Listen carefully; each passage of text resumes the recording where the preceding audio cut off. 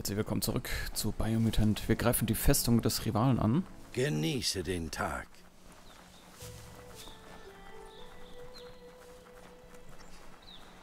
Ich könnte es nicht besser sagen.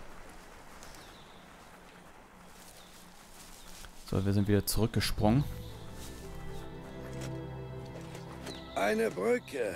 Geh einfach rüber. du Arschloch. So kommt mir das irgendwie gerade vor.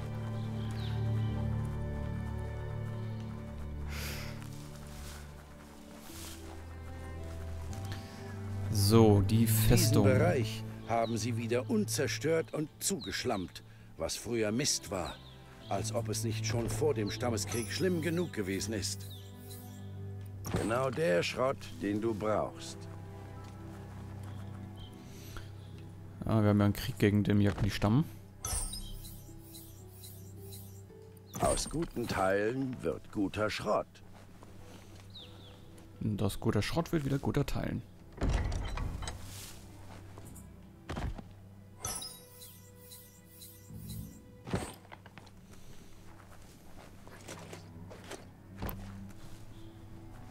Haben wir hier auch noch was?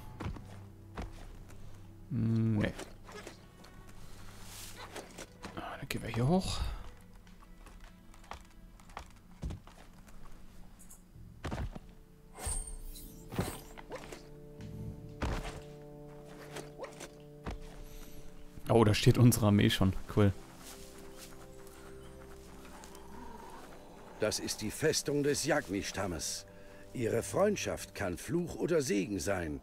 Das liegt ganz bei dir.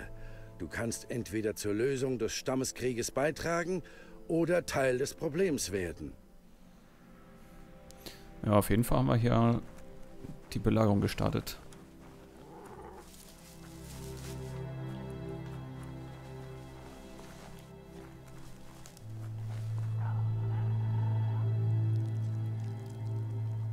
Mal sehen. Sind ja sogar einige, ne? Sogar mit Belagerungsmaschinen. Das ist ja... Das ist schon teilweise utopisch hier.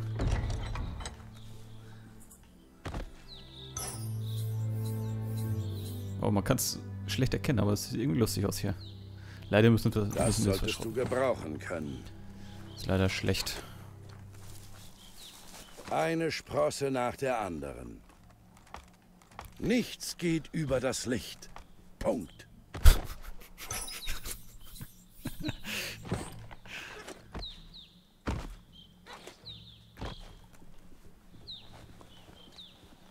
Manchmal sind da Heildinger drin, deswegen brauche ich die. Oder sowas. Daraus hast du viel Schrott gewonnen. Gut, da oben ist der Meister. Der General.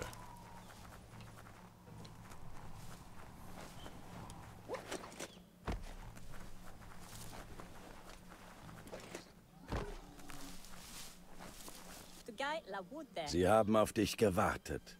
Die Eroberung dieser Festung wird für Frieden zwischen den Stämmen sorgen. Ich bin bereit. Beeil dich lieber.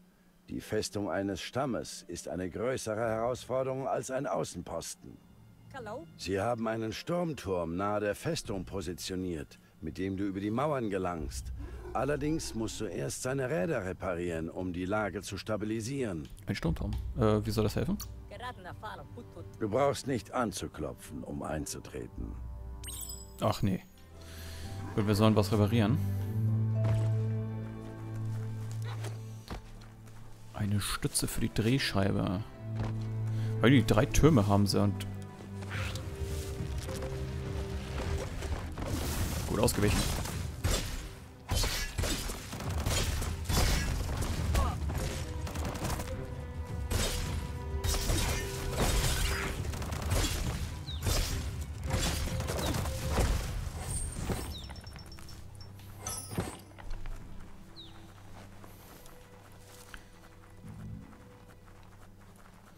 Wir haben drei Türme und nicht einer funktioniert anscheinend. Da sind ja ziemlich schlecht vorbereitet dahin gefahren. Ah, tollen Jackenpass. man sich leicht. Was für ein Treffer!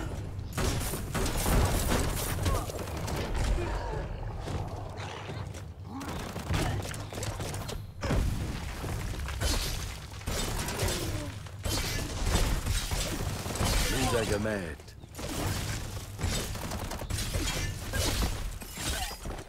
Der Schlitz. Patsch.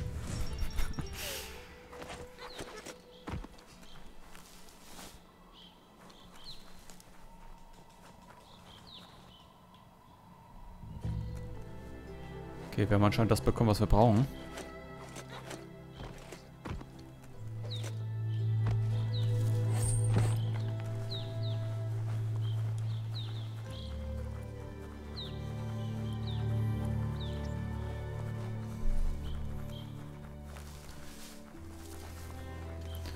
Ja, ich greife die fest an, weil wir sonst ähm, in anderen Bereichen nämlich weiterkommen. Ich meine, es gibt mehrere Stämme. Und das würde dann die anderen freischalten. So.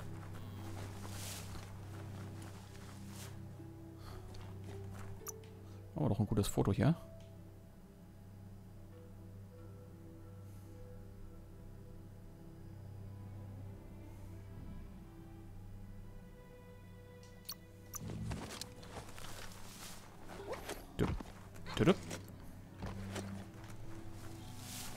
Zeit, den feindlichen Stamm zu befreien. Richte auf deinem Weg zu ihrem Sifu so wenig Schaden wie möglich an. Sifu? Es wird nicht leicht sein, den Sifu davon zu überzeugen, dass Frieden zwischen den Stämmen der einzige Weg ist, damit am Ende alle überleben. Er zweifelt, dass der Sifu kampflos aufgeben wird. Und es geht los.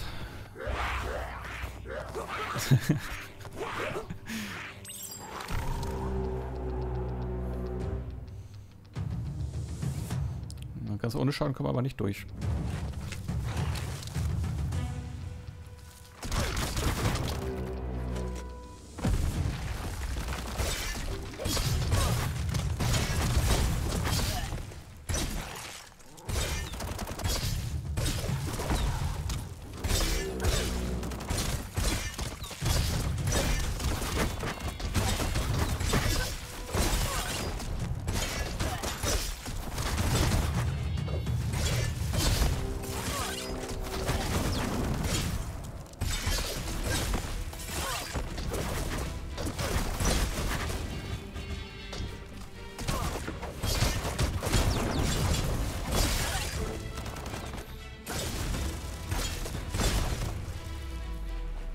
Alter.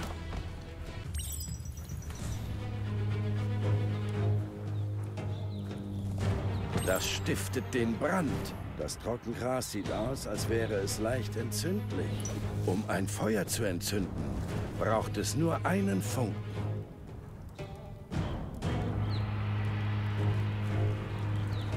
Muss uns das helfen?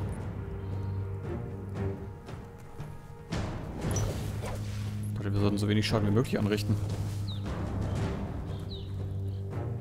Es brennt heller als das Licht. Ah, jetzt die Barrikade weg, jetzt kann ich da rein.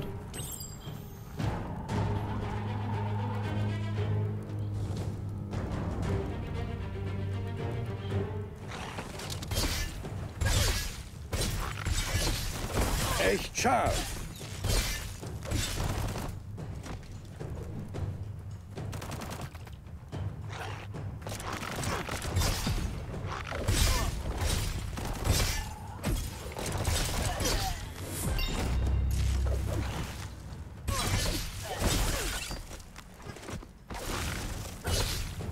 Sollte eine ordentliche Lehre sein. Knisterkalt. Knisterkalt.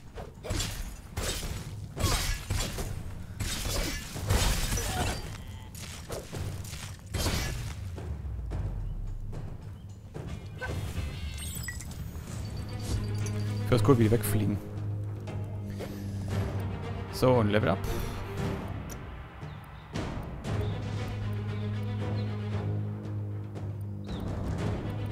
Das nehmen wir mal in Charisma.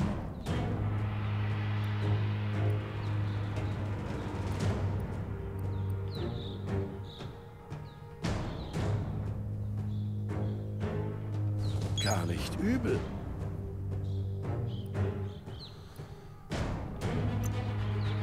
So, und das nehmen wir in... Den hier. Vielleicht können wir den dann überzeugen.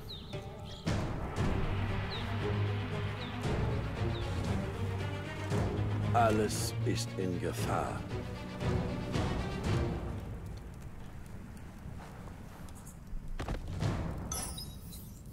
Rucksack. Das hast du verschrottet. Das solltest du behalten. Ja, wie das verschrottet.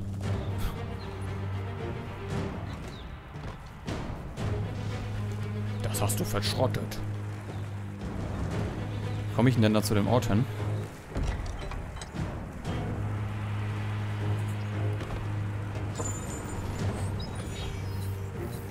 Das sieht man nicht jeden Tag.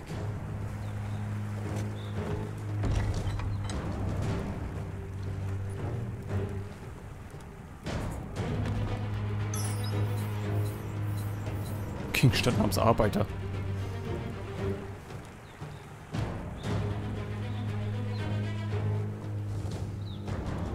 Ich denn dahin?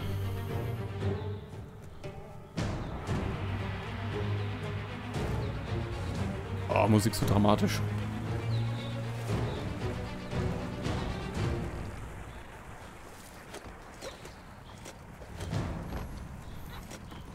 Ja, doch so einfach.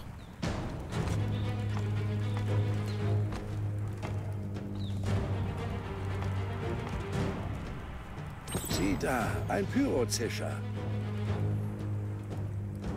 Hihihihi. Mach dich an die Arbeit, damit der Zisch funkelt. Schönes Knistern.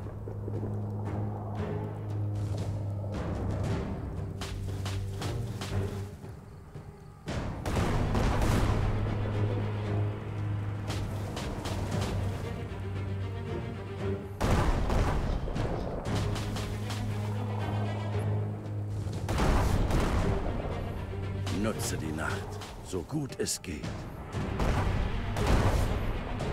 Gut, wir gehen da weg.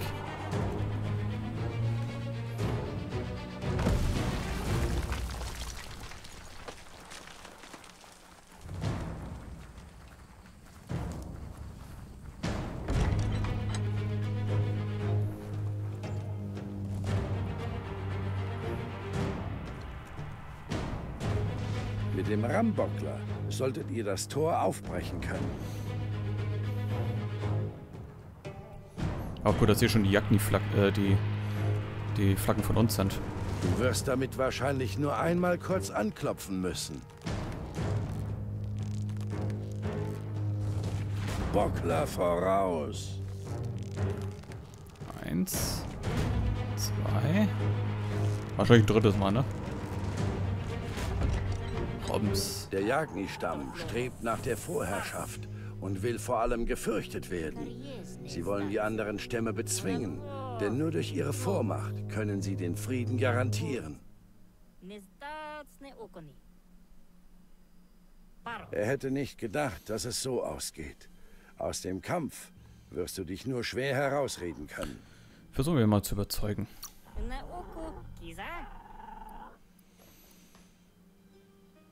Hm. Das ist der einzige Weg zu überleben.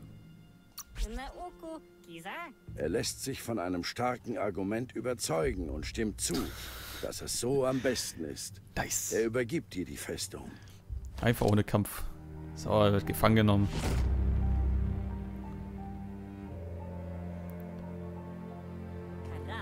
Der gegnerische Sifu ist bezwungen.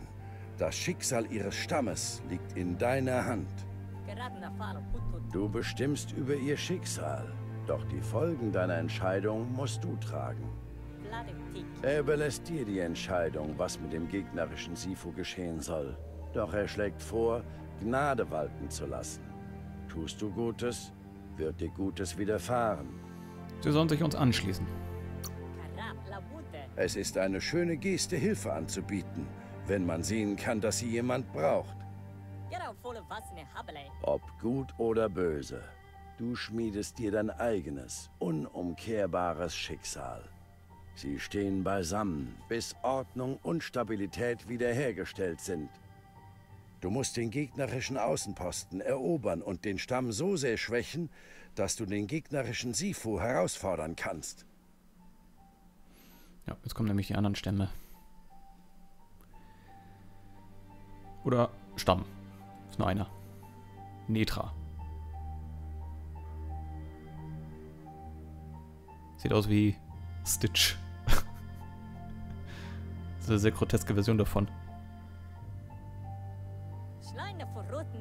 Dein Sifu ist zufrieden.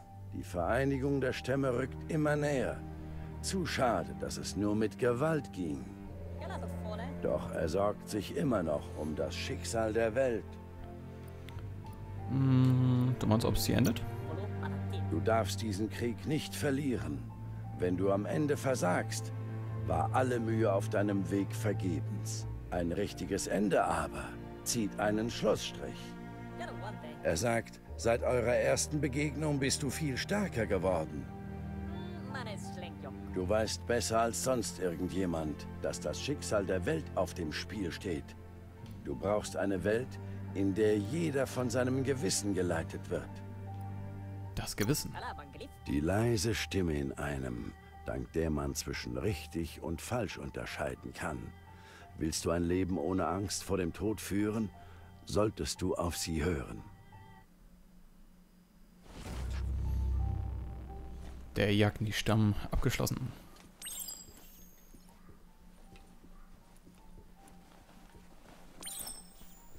Es ist der Jagni-Stab. Die Stammeswaffe freigeschaltet. Das Ende dieser Welt steht bevor. Und von allem anderen.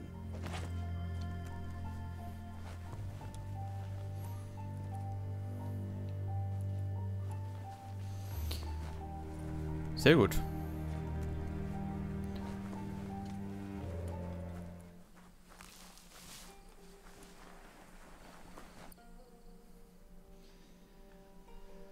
Ja, das ist ein Nebenziel quasi. Jetzt ist der Netra-Stamm dran, der hier auf der rechten Seite ist. Und ich glaube, hier oben links ist auch noch einer. Und da. Die müssen wir halt alle vereinen. Jo. Das machen wir so Stück für Stück. Ich sehe gerade ein neues Wung Fu.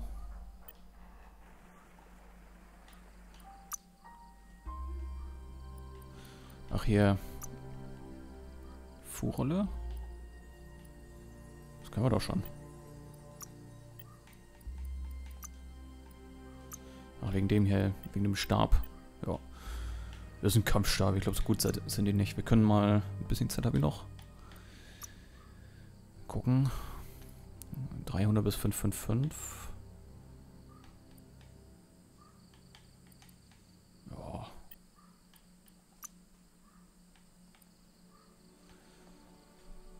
müsste den dann, glaube ich, verbessern. Oh, schauen wir uns beim nächsten Mal an. Vielen Dank fürs Zusehen. Bis dahin. Ciao, ciao.